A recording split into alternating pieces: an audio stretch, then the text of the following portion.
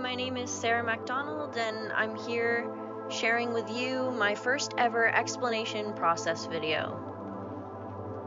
I wanted to start off with sharing a video of me throwing on the pottery wheel.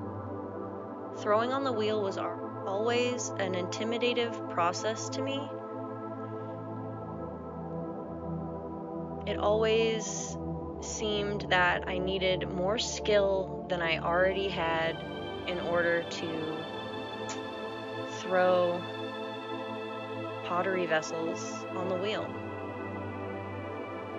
But attending MECA really taught me that whatever I threw could turn into something else in a day or two. It didn't have to be so immediate which is what I thought previous before learning that I can manipulate clay in multiple ways. Throwing helps me generate a form very quickly, very uniformly.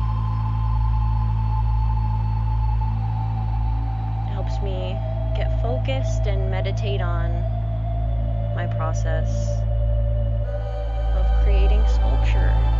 I take it off the wheel, put it in my wet box overnight, let it stiffen up a little bit so I can go home and sketch some ideas of what this pot might turn into. For this, I decided I was going to make a bear hybridized with a beehive, playing on the relationship of bees and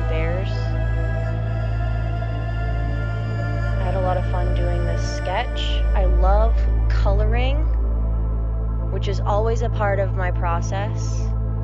It helps me plan out what I'm going to do with the glazing or underglazing. I get pretty into it, you can see. I'm aggressively adding that orange in there. Having so much fun doing it. I drew some bees because I knew I didn't want to render them realistically.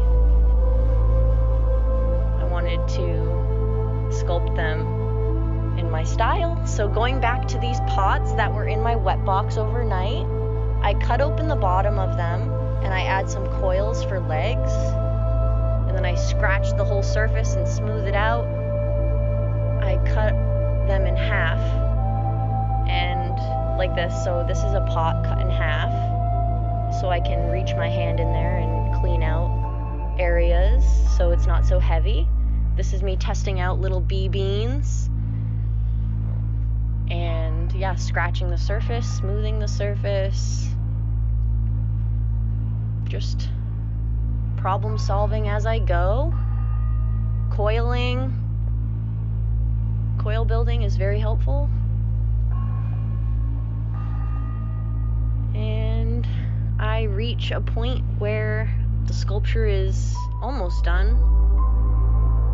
and I'm planning out where to put the drips of the beehive, the honey, honey dripping on the bear, and I sculpt the little drips in the honeycomb pattern, smoothing it all out adding sage, which is white. It'll help the colors pop off the surface. Got some underglaze paint on there. This is in the pre-bisque state, and this is when it is bisqued. This is right before I started spray glazing it.